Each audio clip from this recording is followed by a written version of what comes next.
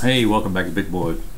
Uh, tonight, I wanted to talk a little bit about OCS because I just had uh, you know, wrapped up my second play of the DAK 2 uh, campaign.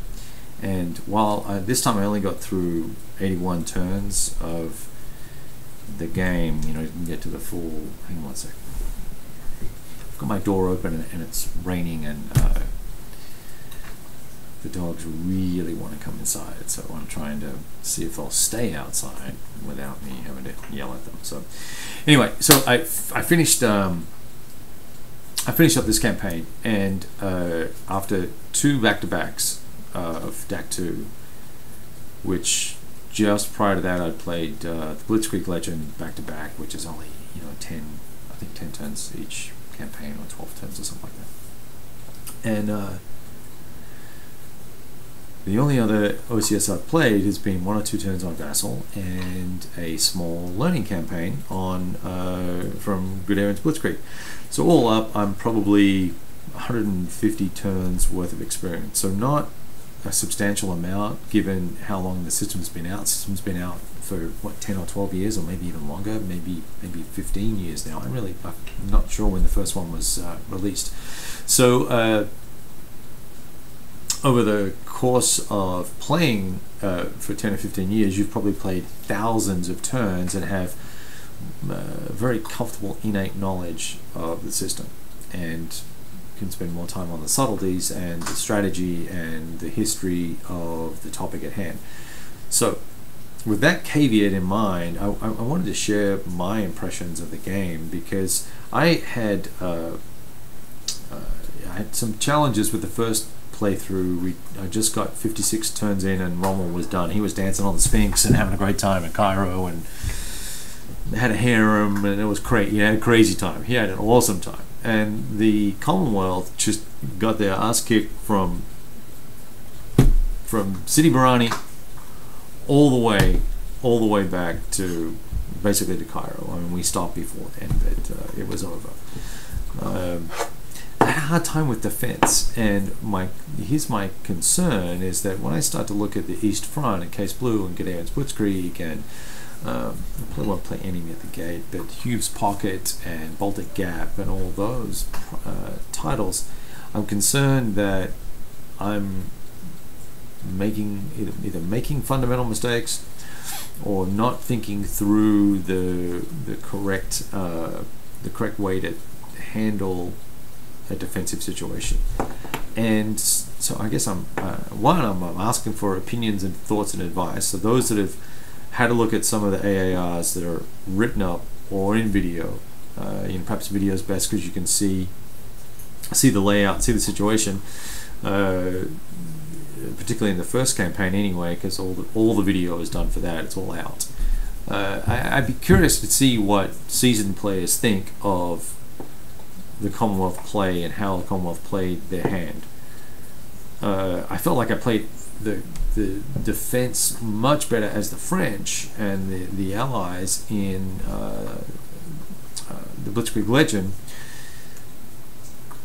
You know, used reserves better. I used artillery more effectively. I felt like I was starting to build a little bit of depth of defense.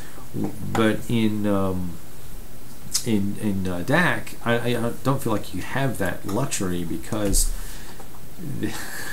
you know you're you're working on a front that's this that's this literally this big. There's no sweeping maneuvers around things, so um, it's hard to and, and, it's hard to do something in depth because there's two maybe three roads to to divide the whole. I keep looking down because that's where the camera's pointing. You're up there. I'm looking down here. Stay with me. I'm here. Um, there's three roads, 20, maybe 15 or 20 hexes deep of map is really what you're playing on the whole time, but you move, you're playing across four or five maps or whatever the case might be. And um,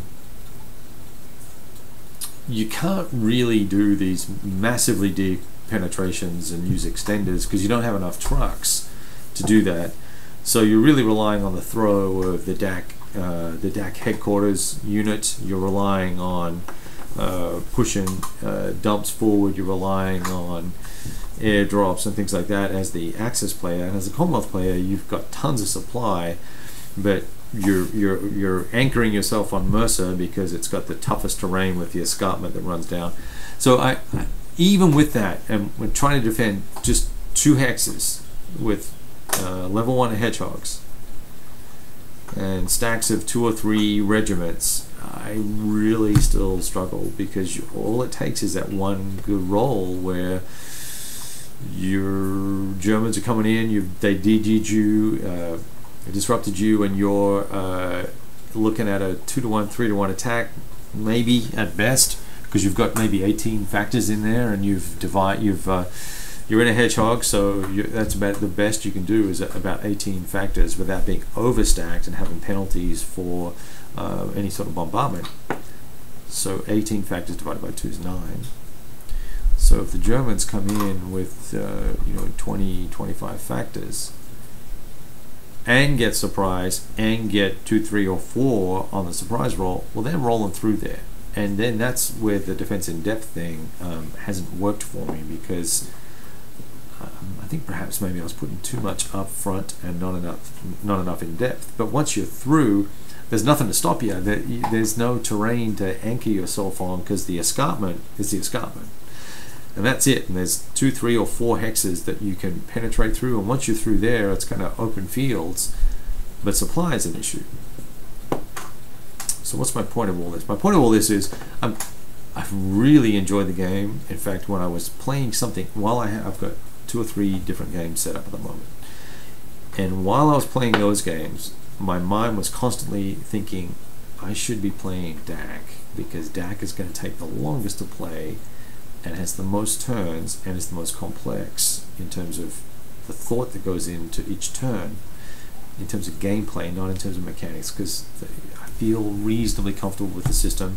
Still made mistakes and still you know made errors and forgot to divide something by two or add one here or threw too far or whatever I did, but it all kind of washed out in the end. I'm not fussed about any of the rules mistakes I made up until the very last turn when we uh, were goofing around with breakouts and things. But um, really, because we were just desperate trying to find a way for the Allies to survive. Um, but I'm concerned that, uh, so I was preoccupied by the game. Now that I'm done with it, uh, I'm, I'm kind of relieved. I'm kind of, wow, that was a great experience. I didn't want it to end, but now I'm glad that it ended. Because I'd like to play it again sometime, but I'm not sure that I want to uh, want to have that same experience because it's been the same experience twice. Whereas the Allies, you know, they, they hang tough, they hang tough, they hang tough, they give a little ground, they hang tough, they hang tough, they give a little ground. And they never felt like they had enough force to really, uh, really try and um, push back and attack back at the uh, at the Germans and the Italians, at the Axis forces. So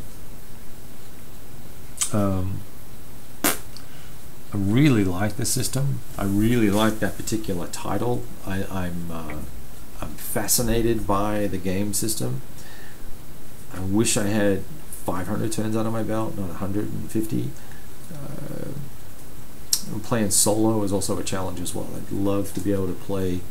Hang on a second. Outside. Good boy. Good boy. Um, uh, what was I saying? Yeah, I'd love to play somebody, and and I've started. I started to play with. Uh, one chat from BGG, and, and I was just making a mess of stuff and wasn't structured enough on Vassal to play. Um, I, I, have a hard time playing something this scale of OCS and being structured enough and go from top to bottom of the map and do all of this first and do that second. I'm the type of player that I go straight to where the problem area is, resolve that, and then work it all backwards from there uh, and around from there. So often, you know, I would uh, I would move pieces when I play, and then go, oh, you know, I'm going to be I move these guys. I'm going to be out of supply if I do that. I should have thought of that earlier. Should have moved my HQ first, or I should have moved to dump up to point X. Hmm, I didn't do that. So I'll rewind I'll rewind my move and pull that move back and put him back to where he was. I have no issue with, with doing that because I'm doing it solo. But you can't do that in Vassal because it gets confusing and messy, and people don't like uh, people don't like that. I don't think anyway. And uh, I kind of like to get it all right in a Vassal mod in a Vassal log file for people. Anyway, no, that's a whole other thing. So the game is really interesting. It's fascinating, and and, and, I, and I, it frustrates me when I hear people say they, they don't they're not enjoying the game or they're not uh, they're not getting they're not able to do anything in the game because they don't have enough supply. Um, uh, you know, it's not that you're playing it wrong, uh, but maybe there's a different approach you can take to the game. And I wish I'm not confident enough to coach people on how to play or what to do, but um, you can achieve a lot with a very little amount of supply. And uh, it's a great title. It's got uh, it's got lots of uh, replayability. It's got lots of small scenarios. So I'm really a big fan of DAK 2. I'd encourage anyone to get it, or even the original one, and use the updated rules and, and make the little modifications and adjustments that are needed. Uh, so anyway, so that was kind of my my. I just finished playing. Uh, it's my kind of my gut feel on how I'm feeling about uh, the game and the game system. Um, I will talk to you soon, and we'll see. Uh, we'll see what what the next uh, the next few big things are that we're going to play for uh, for this chronological walk through World War II. Cheers.